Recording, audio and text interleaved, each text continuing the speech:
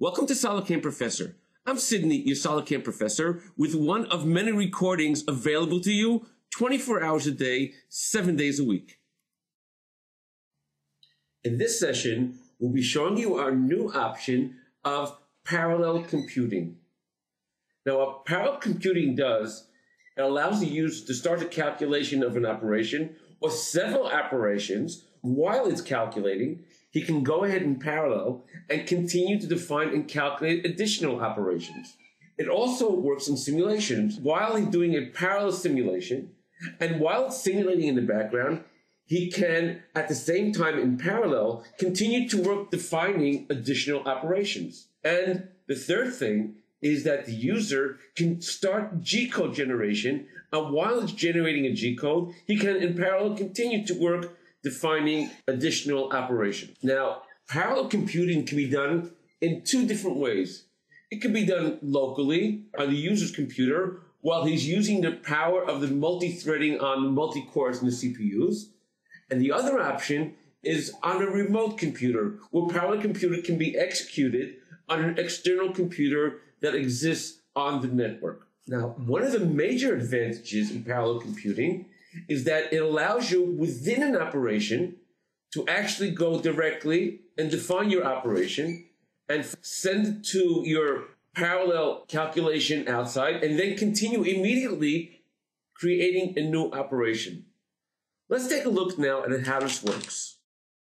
Now, I'll start a new operation on this part by going into HSR and I'll choose contour roughing. I'll choose my tool and I'll choose the boundary that I want to work on, my passes, set up my offsets, set up my step down on the part itself, and then we'll do save and calculate. But instead of clicking on save and calculate, I'll click on the arrow next to it and click on save, parallel calculate, and exit.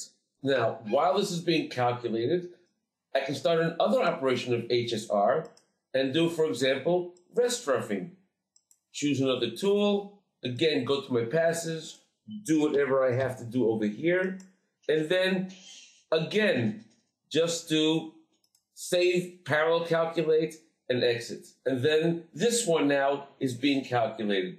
Start another operation, time in HSM, do, for example, constant Z, choose a tool, and continue on down as necessary. Again, I'll do save, parallel calculate, and exit. And now that one is being calculated. And I can keep on going down and keep on programming my next operation one after the other without stopping to wait for the finish of the calculation. Now, parallel computing is not something that can be done only within the operation itself, but from the outside as well.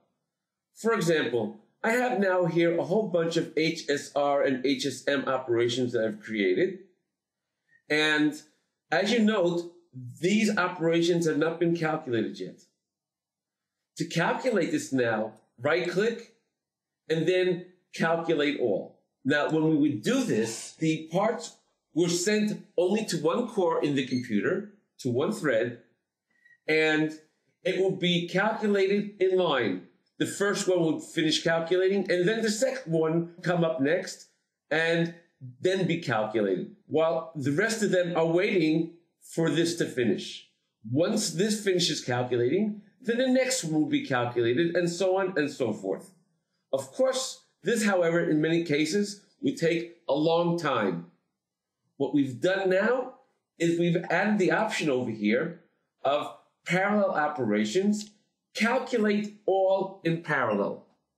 When we calculate all in parallel, the program is actually taking all of the operations and sending them out to the multi-threadings that we have on our computers. And once that is done, it starts calculating the parts in parallel to each other at the same time. Let's take a look how this works. When I click on calculate all in parallel, what happens is this dialog window pops up. Now this allows me to choose whether I want to have it go on my own computer, on my local computer, and thereby using the multiple threads that I have on my computer itself, as shown over here, or I can use a network computer and thereby having it being calculated on a different computer that's on my network. In this particular case, I'll be using local computer. Now, if I don't want this window to pop up again, all I have to do is click on Do Not Ask Again, which is what I'll do at this point. Now, the moment I click on OK, what's happening now is that all of these operations are now locked and being calculated at the same time. If I were to show you my Windows Task Manager, you can see that all my threads now are working parallel to each other with my maximum usage of my CPU. Now, if I were to go back into my operations and go back to parallel operations, you can see we have the option of show running parallel operations. Over here, you can see all the operations that are being calculated now at the same time. And as you can see also my manager, some of them have already been finished calculating. That's because they're all running at the same time, and whichever is finished, it just finishes. Now, the program is smart enough to know that if there's an operation such as a rest roughing operation, which can't be calculated before the roughing operation, it will wait until this is finished, and then it'll start calculating the rest rough operation, but not beforehand. And as you can see now, this has been completely calculated. And as you can see, these are the operations that are left to be calculated as we go along. Now, while these are being calculated, I can continue and create another operation. I can go back into HSM, create a new operation, let's say rest machining, choose a tool, have my reference tool, have my passes, and again, I can do save, parallel, calculate, and exit.